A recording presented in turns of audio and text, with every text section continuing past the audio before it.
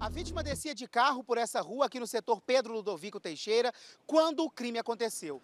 Os suspeitos estavam armados com facas.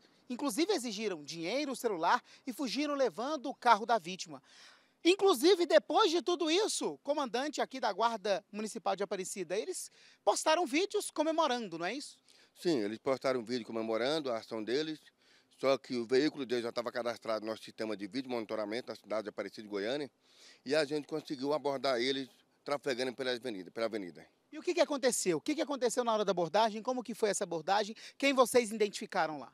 Ele não esboçou nenhuma reação da abordagem, colaborou com a equipe, mas o celular já foi entregue para a vítima, mas o dinheiro que ele roubou da vítima não conseguimos recuperar.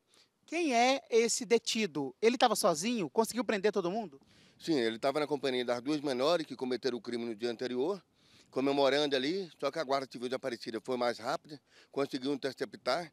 E esse cidadão aí, ele já tem uma vida bem extensa no mundo do crime. É, tráfico de droga, roubo, furto, vários crimes nas costas dele aí. Inclusive ostentava, usava uma tornozeleira eletrônica. Sim, gostava de ostentar, várias fotos dele ali mostrando que ele estava é, no mundo do crime. Acho bonita essa ideia aí, mas não é por aí que a sociedade deve aceitar, né?